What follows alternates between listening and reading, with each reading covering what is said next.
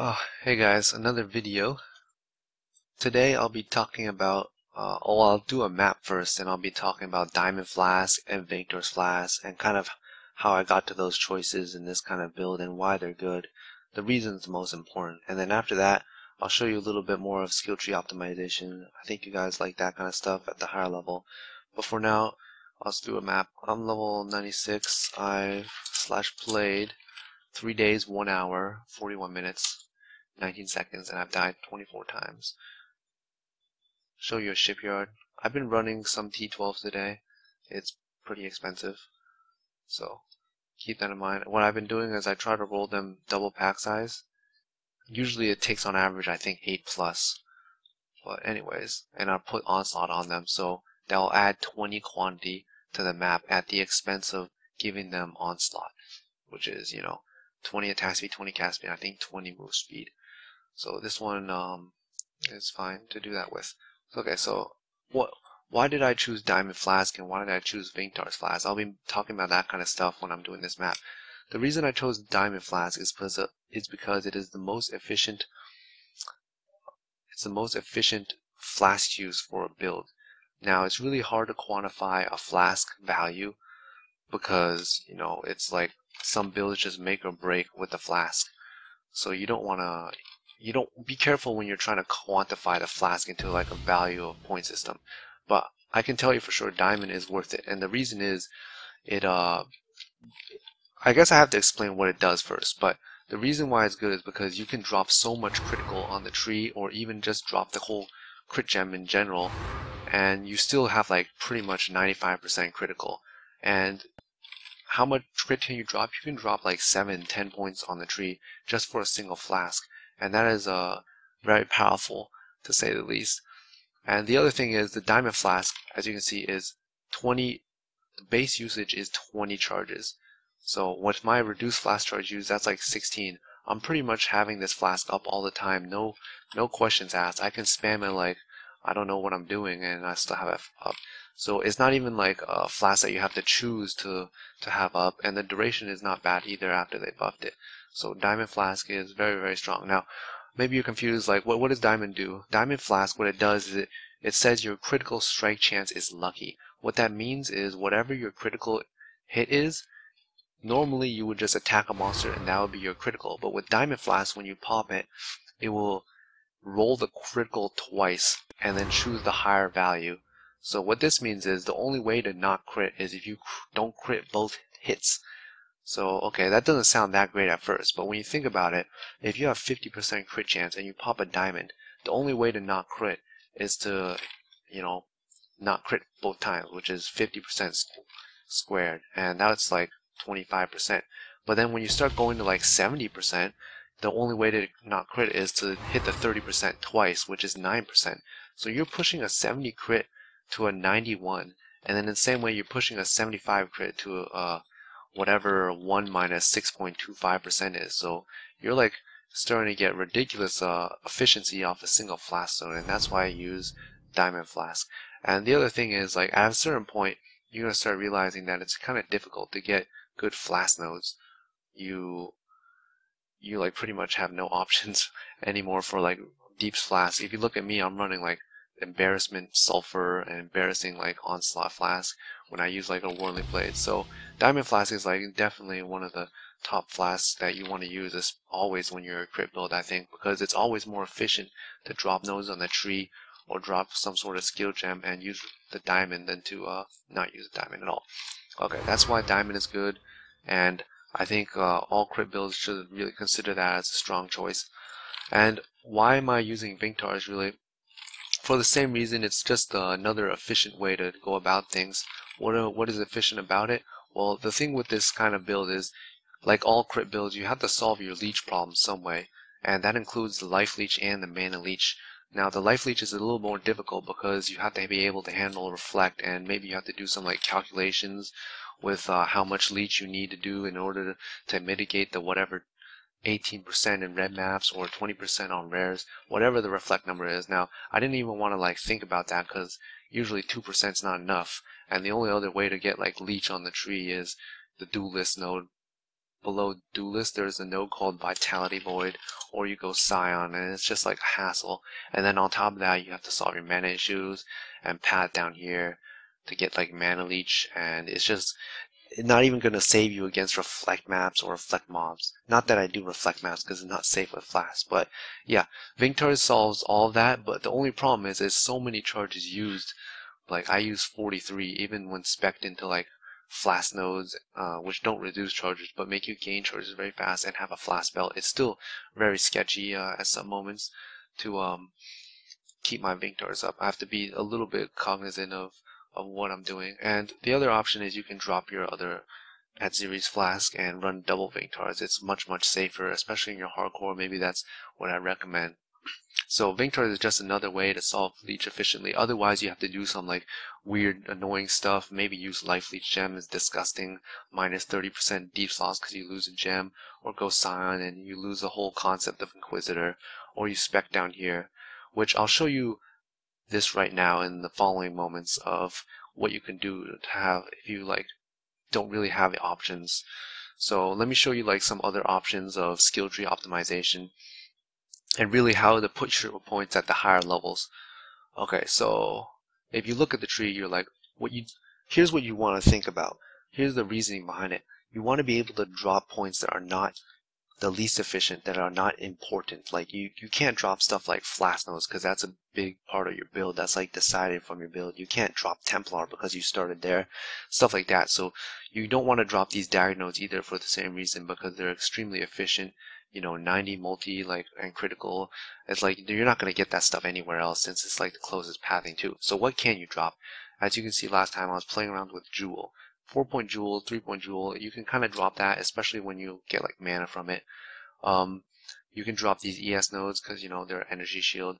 Oh they're not that big of a deal not too critical but you know they're still decently efficient. So okay so you can drop those kinds of things. What do you sacrifice? Nodes that are least efficient. Where do I go? For example, I can go here. Now, the don't get too lost in the details when I start spouting numbers and all this nonsense. It's 11%, 3%, whatever. But the important thing to know is why are you doing this? Um, the big idea is if I go down here, it's going to free up uh. It's going to put me closer to pathing that is important to me. For example, if I spec into like this jewel node and get this ES node from Shield, um, I'm going to have around the same stats, but uh, I'll be closer to this kind of pathing. And more importantly, if you don't have a Vagan dagger like I do, and maybe you have a really, really good dagger that does not have the hits can't be evaded, and you roll some accuracy on your gear, you're going to need accuracy somewhere on the tree. And the closer you are to the accuracy nodes, the better, the more point efficient. So if you can like repath to this kind of like pathing and be closer to the accuracy nodes, that's going to be like great, especially when you don't have Vagan dagger.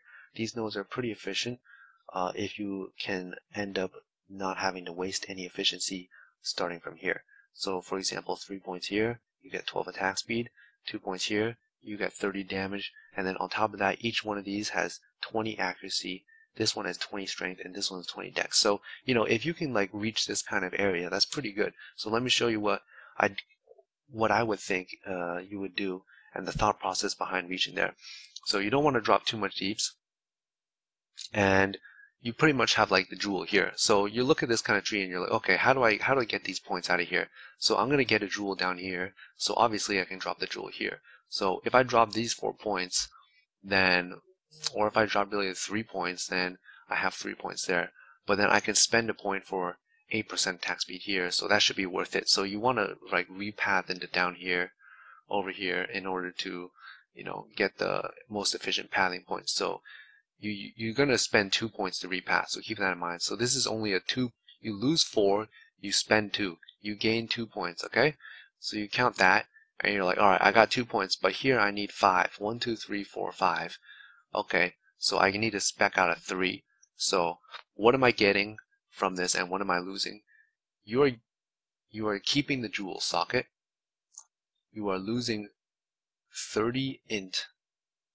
That's 6% ES and another 2 6%. So you're losing 18% ES, and then you spec back in to 10% ES. So you're losing 8 ES total, you're losing 16 spell, and you keep the jewel. But then you gain the 50 defenses from spell shield. Now I'll show this at the very end how to calculate this because it's the detail that you don't want to get lost in in the big picture. But this comes out to be about 11%. Um, and the same way, this kind of two points would come out to be about 13. But anyways, this is about 11%. So you're dropping 18, you gain 10, and you gain 11. So you're gaining about 3% ES. So if you do that kind of specking, you should gain, you know, a little bit of ES. Uh, and you keep the jewel. Alright? And then you lose 16 spell damage, which is 1.6 points. But then you can also spec into the aura effectiveness over here. And you would uh, use this point to spec into here. Now this is worth for me, I've done the math already, it's already 4% ES and 10% uh, increased damage. So you know, you you lose um, 2% ES, but you gain a whole node. So you're losing a third of a node to gain a node. And all in all, you're going to lose about a little bit of deeps and gain a little bit of ES. And it's going to come out to be about the same, and the character's not going to be that much different. But the big picture that I want to show you is you can do that kind of mini spec and change your character in a kind of like imperceptible way but at the end of the day you're closer to the nodes that are more important to you. And you know that's one of the things that you can consider when you're optimizing the skill tree. It's not always about pushing the damage. So let me show you what I mean. So I have seven refund points. That's what I need to calculate. So at the end of the day my my damages are going to be coming out the exact same thing. So I might lose like you know 700 600 deeps or whatever it is uh, whatever 6% damage is not a big deal so let me show you. I spec three points here, two points here, and then I run, refund these four points here. Oh, keep in mind there's also other things to consider that I'm not mentioning. For example, mana loss, which is pretty big. So don't forget about that. Okay, so you see here, I'm going to leave this point to show you at the very end. So my, you saw my ES is going to go up a little bit because this node is, uh, you know, slightly better. I gain about 3% ES or whatever that small number was. I spec into here, I get my jewel back. Okay, and my damage is shitty, right? But then I, I told you at the very end, you can do that final spec of over here, and it's going to be uh, pretty much the same ES, and you lose a little bit of damage, like 700, 600, whatever it is. So you can, the point is you want to see that kind of stuff beforehand and be able to make the big decisions and micromanage everything to be able to make the you know big choices where okay what, what am I doing? You know I'm getting the vitality void closer or I'm getting closer to Art the Gladiator so those are kind of the big specs uh, that I want to show you uh, that kind of get cumulative cumulative from all the small things you can do so let me show you finally end this with what is the math behind this shield thing so what's happening is it's just giving 50% of your shield so for me, my shield is 473 and I'm getting 236. Okay, so now you're wondering, how do I know how much percent ES I'm getting? If I were to spec into, you know, whatever percent ES, how would how much would that add up to 236? So what you want to do is you want to find out your base ES and then you want to multiply that by 6% to find out how much ES 6% gives you. So let me show you how to do that. You find a piece of gear that doesn't have int, that only has flat ES. For me, 43 on the belt. So you take that off, you see, okay, I'm getting, I'm getting, uh, whatever it is, whatever this is, like 200, 100, uh, 84. Okay, I should mention that before you do this, you don't want actually the, um, this this thing in. But basically, you take off the uh, belt 43, and you're going from 9227 minus, you know, 9083. So that's a 189 for 43. So you do this, and you know your percent modifier for your ES is 4.4. Just round that to the nearest like tenth. All right. So what you do then is you divide your current ES by that modifier and that should be your base ES about approximately and you don't have to round it if you don't want to for example if if you just take this and you take you divide oh geez you divide it by whatever this is uh 4.395 you know, that that's around your base ES, 209 to whatever it is. And then you take your 2098, whatever it is, you multiply by 0.06. A 6% ES node will grant you about 125. So, you know, if I show you right here, 6% ES node, it grants me about about that much.